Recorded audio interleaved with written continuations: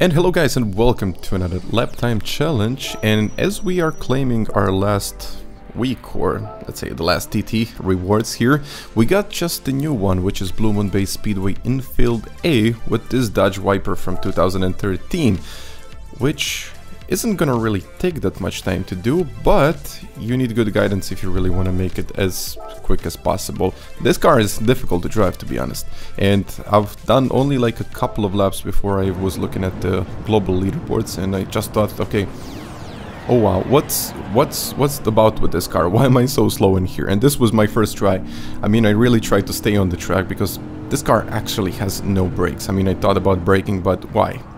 Yeah, if you brake you slide. That's basically it. And it took me quite a while. I mean, I done a, I wouldn't say like a couple of laps. I done quite a chunk of laps to actually get my lap time, which I did right here. And it, it was, it was very interesting at how how, realizing how this car works. It wasn't very simple.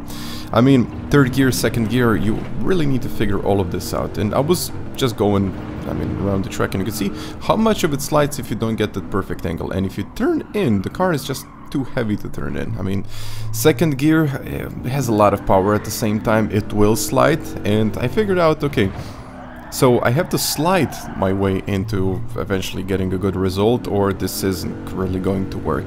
And I was actually trying, I mean here you can see this is probably the worst corner on the track where you just cannot judge if the car is going to turn or if you're going to crash.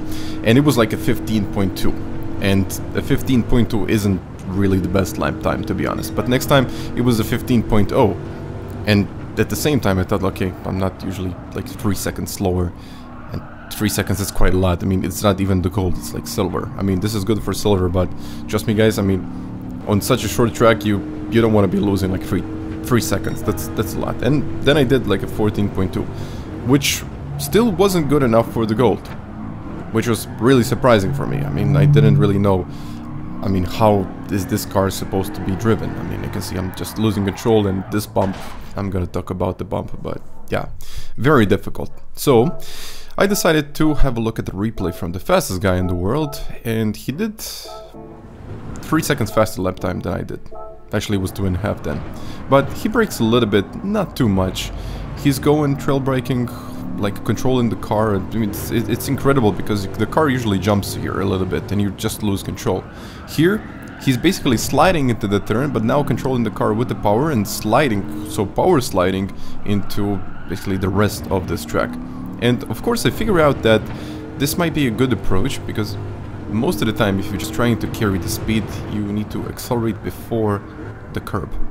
So if you do it with a very slidey car, if you trail brake all the way in with the slidey car, you might lose control, it might snap.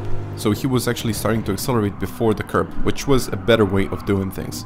So I figure out, okay, maybe I should try something like that. A second gear I need to control it and I really need to fight the car if I really you know, just want to get a good result. And you can see, like the car is sliding all the time. Fourth gear, and that was onto the straight. I mean, this was a very good time, and he even tapped the wall right there, and it was still the world number one. That that just proves it. And you can see my times right there. I was really struggling. So I did a couple of laps later, and this is the guide. So basically, I like to start braking right about here. It might be a little bit too early, but just so you can make it, I kind of brake in the straight line, do maybe like a couple of degrees going to the left, and I want to take like a widest possible entry. So I would say kind of in the middle of the track is the safest option, but you can take it even wider. So 50% on the brakes, you can go down, but don't go more than let's say 25% off the brakes, otherwise the car will snap. So you have to hold it at let's say 25%. And as you're accelerating, as you can see, if you straighten up the car and accelerate, nothing is going to happen. But I was basically, I was sliding, so I had to kind of drift my way out of this one. And when you hit that part, like, really be careful. You even, I think you can even lift and get the gold. Here, this is the one where you're not preparing yourself for the, this one. You're actually preparing yourself for the next corner. So cut this one as much as possible, but now it's all about controlling the car with the throttle. So here, I mean, I try to position it in a way that uh, the weight transfer is not like bouncing. I mean, I'm not bouncing all the track, although I did here. Just a little bit on the brakes and start accelerating before the curb. So you can see the accelerator is going up before. So this really prevents the car from sliding too much and eventually I will get more speed onto this little straight. So here, this is kind of a tough one because you need to kind of have this line in. So if you take a different line or if you say let let's say if you take a wider line it's not going to work. The car will eventually start to slide. So here first gear I'll probably should have stopped it a little bit more uh, got under the curb but hold it at about 60-70% as you accelerate. And when the car straightens up only then it's good to fully accelerate. It might slide a little bit, but if it's straightened up, it's okay. 50 means 50% of the brakes. I did about 70, 80, which was kind of okay, but the car was kind of slidey. I should have I should have broke a little bit before it. I mean, didn't really lose that much time, but the angle just wasn't there. And now, the crucial and the most difficult part of this whole circuit and this whole challenge, if you don't want to crash, of course, is this curb or this corner. And 50-60%, you need to initiate that slide and just let the car go. Which is difficult. I mean, I tried it like a couple of times and it always drifts in a different way. And then, if you get it in a perfect way, you're drifting all the way out of this corner. So the fourth gear can stop that, it can prevent that, but I do recommend staying in third, you'll just get much more speed and much more time.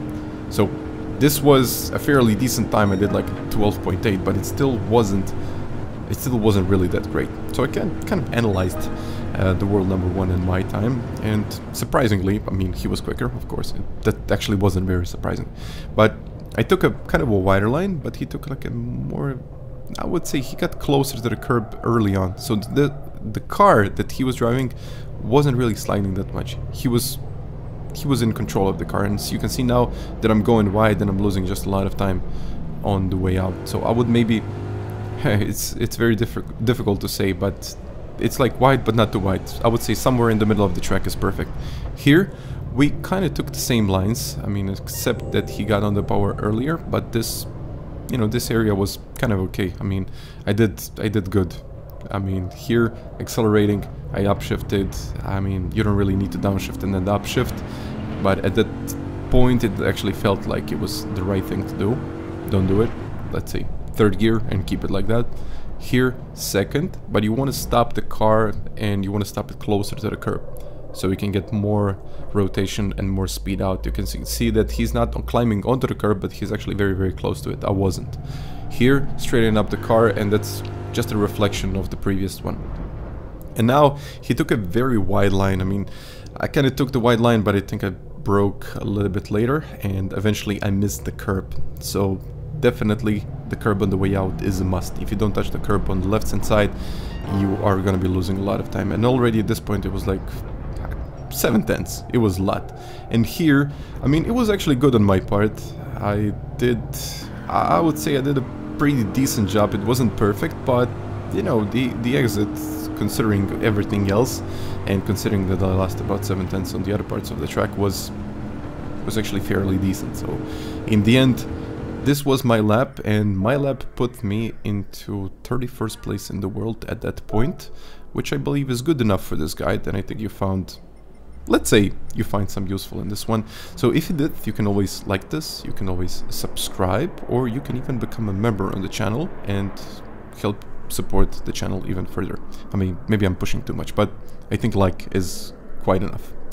so guys, thank you very much for uh, watching this video, and until the next time, bye.